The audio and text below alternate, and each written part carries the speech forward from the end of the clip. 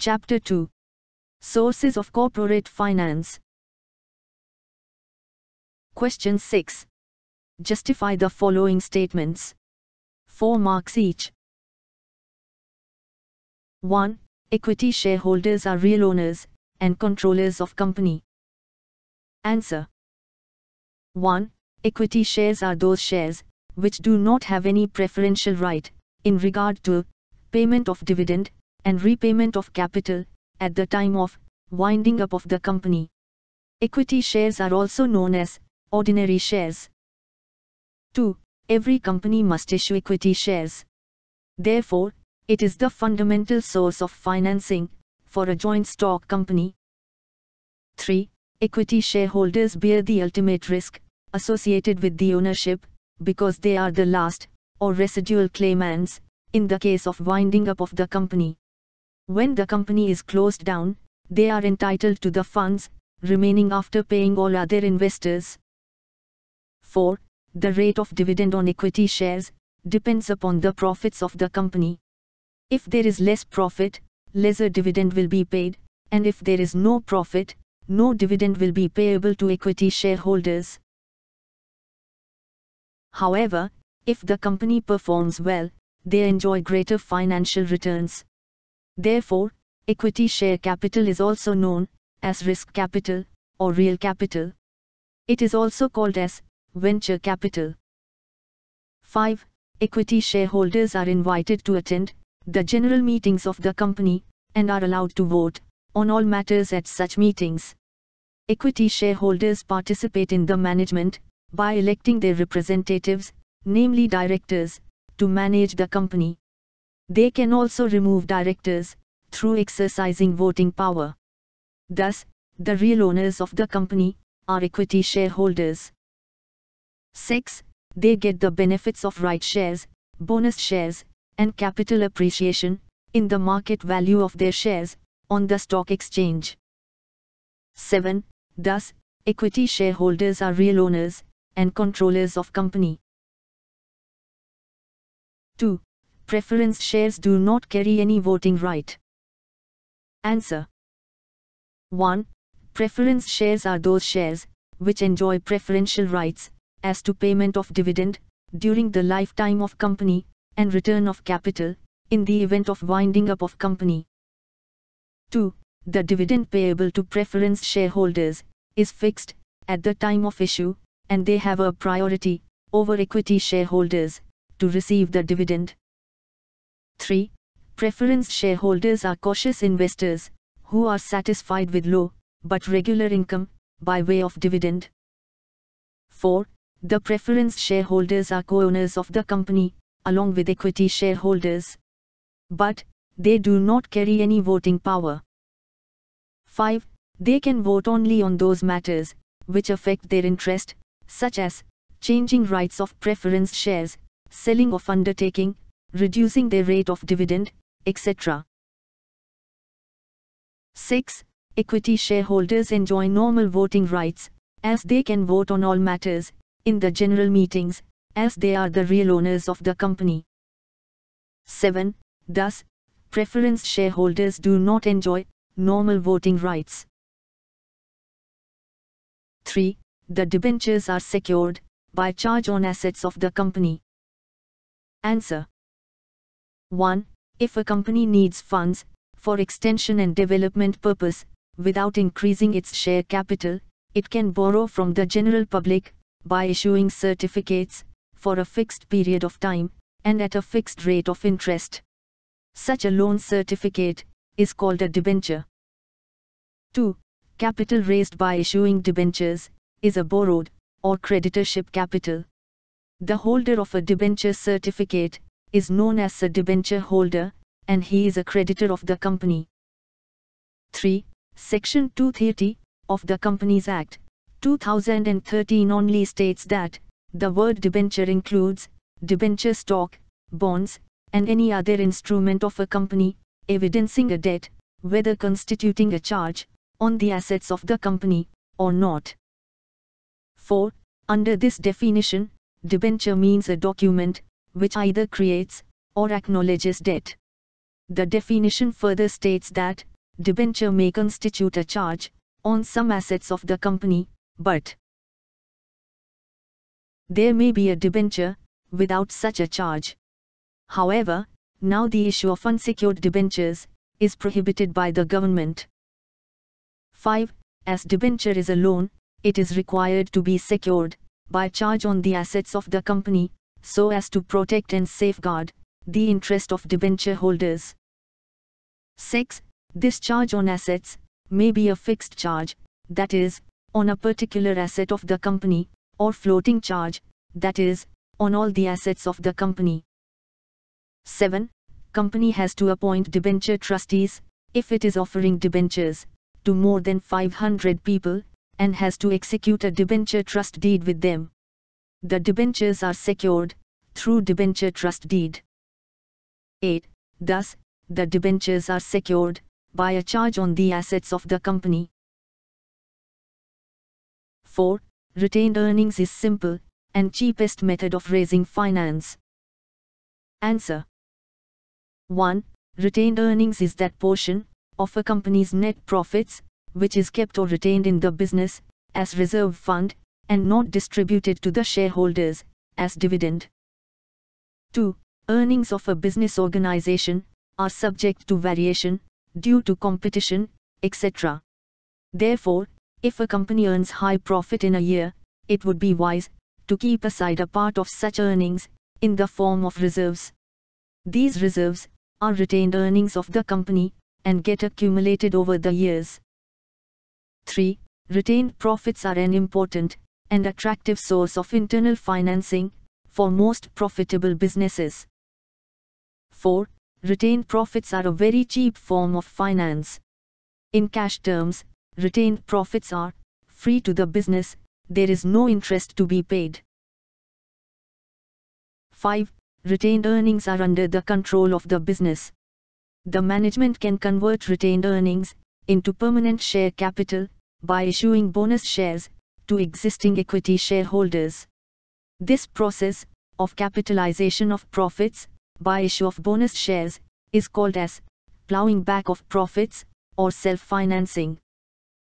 6. Thus, retained earnings is simple, and cheapest method of raising finance. 5. Public deposit is good source, of short-term financing. Answer 1. Other than issue of shares, there are various other sources of raising finance, for a company, such as debentures, bonds, loans from banks, accepting deposits from public, etc. Usually, company uses public deposits for raising a small part of the total debt for a short period of time. 2. The term public deposit means any money received by a non-banking company by way of deposit or loan from the public, including the employees, customer, and shareholders of the company, other than in the form of shares and debentures. 3. Public deposit is an important source of short-term financing for a company. Under this method, company invites general public to deposit their savings for varied period. Deposits are either secured or unsecured loans offered by public to the company. 4. Companies can receive public deposits for different periods ranging from 6 months to 36 months. Rates of interest offered by companies on deposits are higher than those offered by banks. 5. The amount collected through public deposits is normally used by the company to meet its short-term financial requirement. 6. In view of the above, public deposit is not a permanent or long-term source of raising capital, but is a good source of short-term financing. 6. Bondholder is creditor of the company. Answer 1. According to Webster Dictionary, a bond is an interest-bearing certificate, issued by the government, or business firm, promising to pay the holder, a specific sum, at a specified date. 2. A bond is a loan, and therefore, bondholders are creditors of the company, all bonds have maturity date, and carry fixed rate of interest.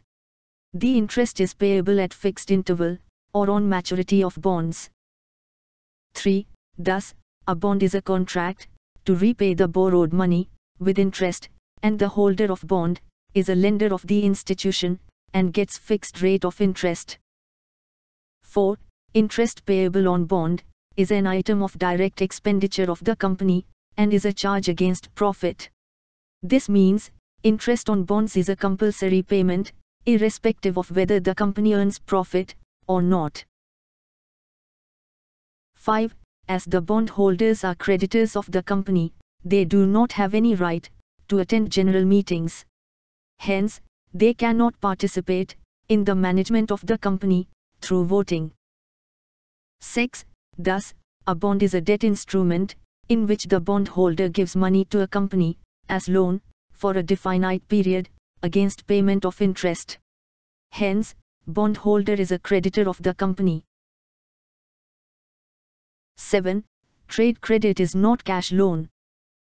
Answer 1. A trade credit is an arrangement where a customer can purchase goods on account without paying cash, paying the supplier at a later date. 2. Trade credit is a helpful tool for growing businesses when favorable terms are agreed with a supplier. 3. Manufacturers, wholesalers, and suppliers of goods or raw materials act as trade creditors for other business organizations. They extend credit to increase their sales and also because of custom that has been followed over time. 4. Trade credit is not a cash loan. It can be obtained without signing any debt instrument. Therefore, it is granted to those customers who have reasonable amount of financial standing and goodwill. Small retailers rely on trade credit from their suppliers to a great extent. 5. The terms of credit are not rigid. Suppliers may allow 30 days or more for payment of bill and may offer discount in bills if the same are settled within a short period, say 10 or 15 days. 6. Thus, trade credit is a cost-free source of finance and is readily available from manufacturers, wholesalers, or suppliers if goods are purchased in bulk. 7. Therefore, trade credit is not cash loan. 8. Different investors have different preferences. Answer 1. An investor means any person, or other entity, who invests money in the securities of an enterprise, with the expectation of receiving financial returns, in the form of dividend, or interest. 2. The securities include, shares, debentures, bonds, fixed deposit receipts, etc. These securities are issued to investors, with different needs, and risk attitudes. 3. The preferences of investors, differ from person to person, as each investor behaves differently, during the investment. Individuals invest in various securities, hoping to generate high returns over a period of time. 4. There is direct relationship between the risk undertaken in investment and its returns in the form of dividend or interest. Higher the risk, more will be the returns, and vice versa. 5. The investors, who are ready to take risk, prefer to invest in equity shares. Equity shares are subject to higher risk, because of fluctuating rate of dividend, and lack of guarantee, of refund of capital. However, the market value of equity shares, increases with the prosperity of company. This leads to increase in shareholders' wealth. 6. The investors, who are cautious, and interested in steady return, invest in preference shares. These shares are subject to less risk, because of fixed rate of dividend, and preferential right, with regard to payment of dividend, and repayment of capital. However, there is no capital appreciation, as market value of preference shares, does not fluctuate. 7. Investors also have options, to invest their money in debentures, and public deposits. Interest at fixed rate is paid, on debentures and public deposits, irrespective of whether the company makes profit or incurs loss. Further, debentures are usually secured by a fixed or floating charge on the assets of the company. 8. Thus, different investors have different investment preferences. 9. Equity share capital is risk capital. Answer 1. Equity shares are those shares which do not have any preferential right in regard to payment of dividend and repayment of capital at the time of winding up of the company. 2. Equity shareholders bear the ultimate risk associated with the ownership because they are the last or residual claimants in the case of winding up of the company. 3. In the event of winding up, they are the last to be paid off after settling the claims of creditors and other external liabilities. In case the funds are insufficient to pay off external liabilities, equity shareholders are not paid off anything, instead the uncalled amount may be called up from them. 4. The rate of dividend on equity shares depends upon the profits of the company. If there is less profit, lesser dividend will be paid, and if there is no profit, no dividend will be payable to equity shareholders. 5. If the company performs well, they enjoy greater financial returns. If the company suffers heavy losses, the risk mainly falls on equity shareholders. Therefore, equity share capital is also known as risk capital or venture capital. 6. Equity shares have the risk of fluctuating market values of shares. If the company suffers losses, it may reduce the rate of dividend, or may not even pay dividend to equity shareholders. This results in fall in the market value of equity shares, because of which equity shareholders suffer capital loss. 7. Thus, investment in equity shares is very risky, and it is rightly called as the risk capital.